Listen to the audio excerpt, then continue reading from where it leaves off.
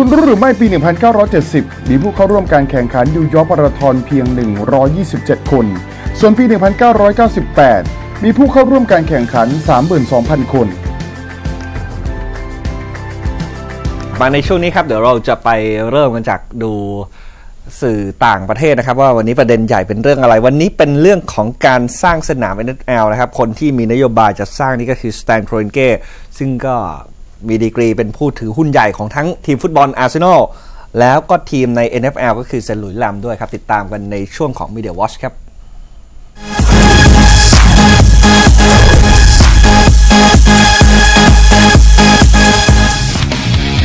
เราดูจาก 2 สื่อนะครับ ที่ขึ้นมาพาดหัวให้เป็นจาก BBC ก่อนครับ BBC Sport นี่รายงานว่าโคเอนเก้ วางแผนจะสร้างสนาม NFL ใหม่ที่ลอสแองเจลิสครับ ซึ่งก็ถือว่าเป็นเมืองใหญ่อันดับ 2 ของสหรัฐอเมริกาเลยทีเดียว แต่กลับว่างเว้นจากการที่มีทีมอเมริกันฟุตบอลมายาวนานร่วม 20 ปีไปแล้วนะครับ โดยที่โครนเก้เขาวางแผนจะสร้างสนามที่สามารถจุคนดูได้ระดับกว่า 80,000 ที่นั่งเลยทีเดียว ไปดูของ ESPN บ้างครับ ESPN รายงานข่าวจากการเปิดเผยของบริษัทฮอลลีวูดพาร์คลนด์โดยระบุว่าโครนเก้เจ้าของทีมเซนต์หลุยส์แรมส์และทีมอาร์เซนอล วางแผนที่จะสร้างสนามใหม่หลังจากที่พวกเขาได้จัดการซื้อที่ดิน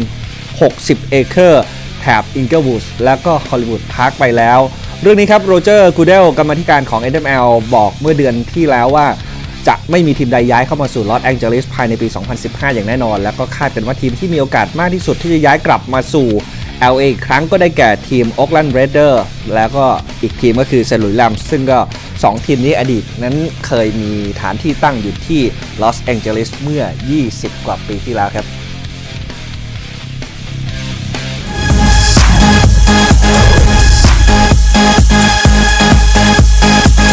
ช่วงนี้ไปดูข่าวกีฬาอื่นที่น่าสนใจกันรอบโลกครับ ในช่วงของ Sport World ครับ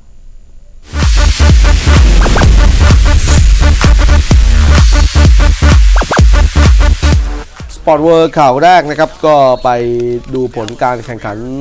บาสเกตบอล NBA เมื่อช่วงเช้าที่ผ่านมาครับ เดิร์กโนวิสกี้ครับ โชว์แม่น 3 แต้มในช่วงต่อเวลาทำสถิติ นักบาสที่ทำคะแนนสูงสุดใน NBA เป็นอันดับที่ 7 แล้วก็ช่วยให้ดัลลัสแมฟเวอริกส์ต้นสังกัดของเขาครับ บุกชนะบรูคลินเน็ตส์96 ต่อ 88 แล้วก็คว้าชัยชนะ 6 เกมติดต่อกันได้สำเร็จครับ มอนต้าเอลิสก็ทำไป 19 แต้มให้กับทีมเยือนครับ ก่อนที่แชนด์เลอร์พาร์สันส์ และโนวิสกี้จะช่วยกันชู้ต3แต้มติดกันทำให้แมฟเวอริกส์นำห่าง 96 ต่อ 88 เมื่อเหลืออีกแค่เพียง 34 วินาทีสุดท้ายครับ โดย 3 แต้มของโนวิสกี้ทำให้เขาทำไป 15 แต้มในเกมนี้ครับ และเป็นแต้มที่ 27,412 ในการเล่นอาชีพของเขาครับทำสถิติแซงหน้าโมเสสมาโลนสู่อันดับที่ 7 สูงสุดของ NBA ครับ ขณะที่บรูคโลเปซทำไป 22 แต้มกับอีก 13 รีบาวด์ให้กับทีม Nets ครับ แล้วก็ Jarrett Jack ทำไปอีก 20 แต้มกับ 10 แอสซิสให้กับเจ้าถิ่น โดยเกมนี้เจ้าถิ่นไม่มีทั้ง Deron Williams ที่มีอาการบาดเจ็บ แล้วก็ Kevin Garnett ที่ทีมให้พักในเกมนี้ครับ จบเกม Jarrett Jack กล่าวชมคู่แข่งว่า เป็นทีมบาสเกตบอลที่มีพรสวรรค์สูงทำแต้มในช่วงสำคัญได้หลายครั้ง โดยเฉพาะใน quarter ที่ 4 แต่ทีมของเขาก็พยายามสู้อย่างเต็มที่จนกระทั่งเกือบมีโอกาสชนะในช่วงท้ายเกมเช่นเดียวกันครับ ขณะที่ Rick Carlisle head coach ของ Mavericks ก็กล่าวว่าใน quarter แรก เกมรับของทีมเล่นกันไม่หนักแน่นเท่าที่ควรครับทำให้ผลงานไม่ดีนะครับ แต่หลังจากนั้นลูกทีมสามารถยกระดับการเล่น จนสามารถเอาชนะในเกมนี้ได้ที่สุดครับ เดี๋ยวไปต่อกันที่ box score ครับดูว่า ผู้เล่นของแต่ละฝั่งที่ใครทำแต้มได้เป็น top three กันบ้างนะครับ ฝั่งของ Dallas Mavericks ครับ Monta Ellis ทำไป 19 แต้ม 7 rebound 4 assist ครับ Dirk Nowitzki 15 แต้ม 7 rebound ขณะที่ Tyson Chandler ก็ทำไป 14 แต้ม 13 rebound Brooklyn Nets นี่ Brook Lopez กดไปถึง 22 แต้ม 13 rebound แต่ก็ไม่พอให้ทีมของเขาคว้าชัยชนะได้นะครับ Jarrett Jack ทำไป20 แต้ม 4 rebound 10 assist แล้วก็ Joe Johnson 18 แต้ม 7 rebound 4 assist คือดูแต้ม ต่อตัวผู้เล่นนี่มันเหมือน Brooklyn Nets ไม่น่าแพ้ครับ แต่เล่นแต่ว่าโดยรวมก็แพ้นะครับ ผลการแข่งขันคู่อื่นครับคิฟลันคาวาเลียก็แพ้ฟิลาเดลเฟีย 76ers 92 ต่อ 95 ครับ Charlotte Hornets ชนะ Boston Celtics 104 ต่อ 95 ครับ Houston Rockets ชนะ อ๋อขอประทานอภัยครับ Houston Rockets แพ้ครับแพ้ Chicago Bulls 105 ต่อ 114 New York Knicks ครับแพ้ Memphis Grizzlies 83 ต่อ 105 Denver Nuggets ครับ ก็ชนะ Minnesota Timberwolves 110 ต่อ 101 Washington Wizards ชนะ New Orleans Pelicans นะครับ 92 ต่อ 85 Indiana Pacers ชนะ Utah Jazz ครับ 105 ต่อ 101 LA Lakers ครับ แพ้ Portland Trail Blazers 94 ต่อ 98 Oklahoma City Thunders ครับ ก็แพ้ Golden State Warriors 91 ต่อ 117 แล้วก็ Atlanta Hawks ชนะ LA Clippers 107 ต่อ 98 ครับ ไปต่อกันที่เรื่องการ trade ตัวผู้เล่นใน NBA กันต่อนะครับ โดยที่ Cleveland Cavaliers Oklahoma City Thunder และ New York Knicks 3 ทีมนี้นี่ไปบรรลุข้อตกลงร่วมกัน trade 6 ผู้เล่นครับ โดยการ trade นั้นมีไปเมื่อคืนวันจันทร์ที่ผ่านมาตามเวลาท้องถิ่น เริ่มจาก J.R. Smith ครับ ยอด shooting guard ของ Knicks แล้วก็ Iman s u m p e r t เพื่อนร่วมทีมเนี่ยจะย้ายไปเล่นให้กับทาง Cleveland Cavaliers ด้วย ส่วน Alex Kirk center ตัวสำรองแล้วก็ Lou Amundson forward จาก ทาง Cleveland Cavaliers รวมไปถึง Lance Thomas forward ของ OKC ก็จะย้ายไปร่วมงานกับ New York Knicks ขณะที่ Dion Waiters ครับ shooting guard ของ Cavaliers จะย้ายไปเล่นให้กับ OKC เหมือนกัน นอกจากนี้ครับ OKC ยังต้องมอบสิทธิ์ draft รอบแรกหนต่อไปให้กับ Cleveland Cavaliers ด้วยครับ จากนั้น Cavaliers เองก็จะต้องดีลกันด้วยการมอบสิทธิ์ draft รอบ 2 ในปี 2015 คืนให้กับ Knicks ไป สำหรับการ trade ในครั้งนี้ครับเพื่อเป็นการรักษาเพดานเงินเดือนของ Knicks ที่กำลังประสบปัญหาอย่างหนักเลยทีเดียวหลังจากพวกเขาปล่อยตัวสมิธแล้วก็ Shumpert ออกไปนั้นก็ช่วยทีมประหยัดค่าใช้จ่ายไปถึง 20 ล้านเหรียญสหรัฐ หรือว่าประมาณ 640 ล้านบาทเลยทีเดียวครับก็เรียกว่าเป็นกฎ salary cap ของอเมริกันเกมอยู่แล้ว งานนี้ครับทาง Phil Jackson ประธานทีมของ New York Knicks บอกว่าวิธีการนี้เป็นวิธีการ ทำธุรกรรมทางการเงินที่จะช่วยสร้างความยืดหยุ่นให้กับทีมในการดำเนินกิจการในสถานะปัจจุบัน และก็รวมไปถึงการควบคุมเพดานค่าเหนื่อยของทีมได้ง่ายยิ่งขึ้นในอนาคตครับ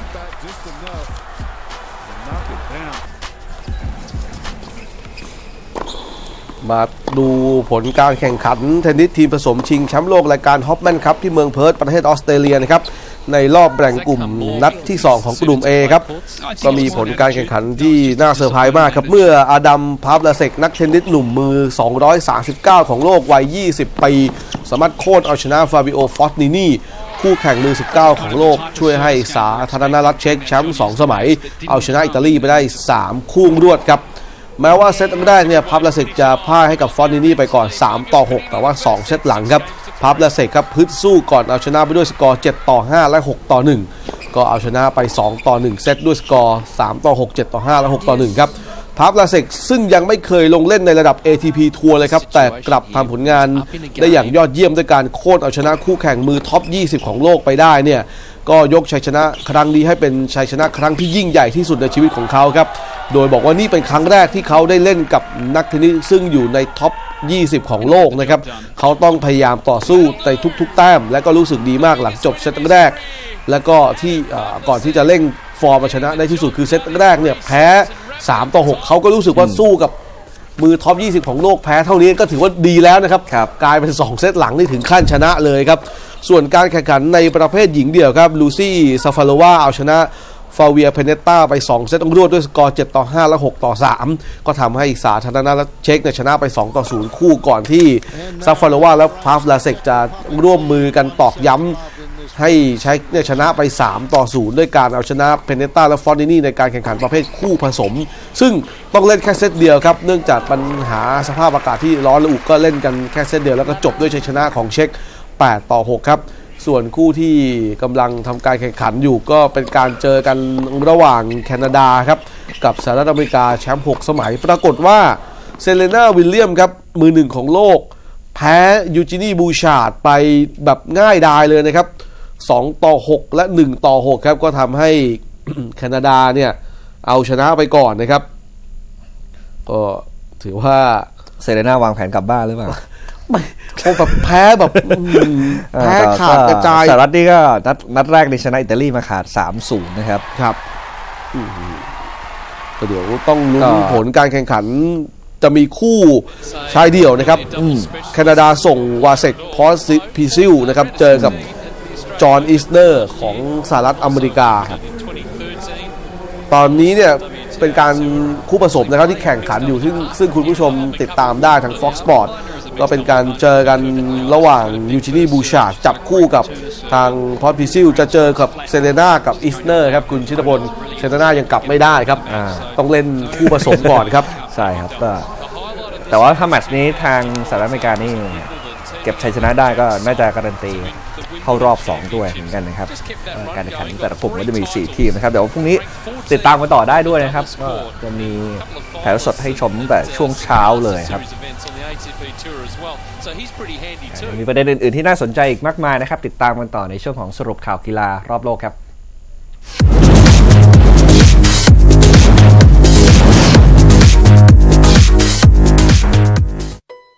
ริชาร์ดกาสเก้นักเทนนิสหนุ่มมือ 26 ของโลกจากฝรั่งเศสร้อยลำผ่านเข้ารอบ 2 การแข่งขันเทนนิส ATP World Tour 250 รายการกาตาร์เอชอนโมบิลโอเพนที่กรุงโดฮาประเทศกาตาร์ได้สำเร็จ หลังหวดเอาชนะพาโบอันดูจาคู่แข่งมือ 41 ของโลกจากสเปน 2 เซตรวด 6 ต่อ 3 และ 7 ต่อ 5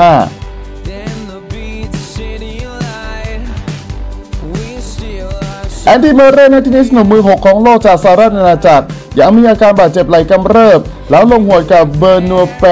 คู่แข่งจากฝรั่งเศสก่อนเอาชนะไป 2 เซตรวด 6 ต่อ 2 และ 7 ต่อ 5 ช่วยทีมสหราชอาณาจักรเอาชนะทีมชาติฝรั่งเศสไป 2 ต่อ 1 คู่ ในการแข่งขันเทนนิสทีมผสมชิงแชมป์โลกรายการฮอปแมนครับที่เมืองเพิร์ธประเทศออสเตรเลียรอบแบ่งกลุ่มนัดแรกของสายบีแมตต์เดมอนนักแสดงหนุ่มชื่อดังของฮอลลีวูดแฟนตัวยงของนิวอิงแลนด์เพรเทียสเชื่อ ทีมโปรดจะสามารถคว้าแชมป์ซูเปอร์โบว์ครั้งที่ 49 มาครองได้อย่างแน่นอน แม้ช่วงต้นฤดูกาลเพเทียสจะออกสตาร์ทไม่สวย แต่หลังจากได้ทอมเบรดี้ควอเตอร์แบ็กว่าที่ Hall of Fame คืนฟอร์มเก่งทันเวลา จนพาทีมคว้าแชมป์ AFC ตะวันออก โดยในรอบดิวิชั่น a l เพลย์ออฟเพเทียสเตรียมพบกับบัลติมอร์เรเบนส์แชมป์ซูเปอร์โบว์สองสมัยที่สนามยูเดสเตเดียมในวันที่ 10 มกราคมนี้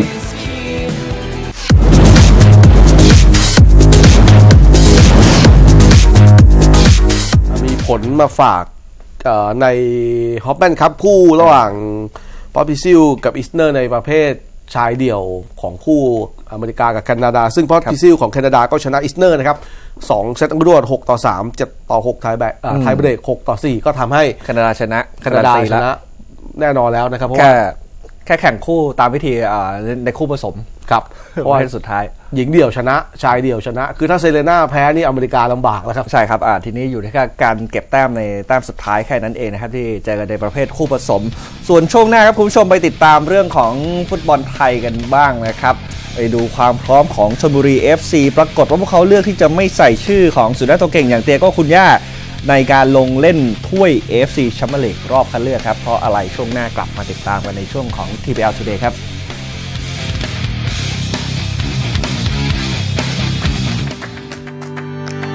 6มกราคมปี 1995 เลนนี่วิลกินส์โค้ชของ Atlanta Hawks ทำสถิติเป็นโค้ชใน NBA ที่คว้าชัยชนะมากที่สุด 939 นัด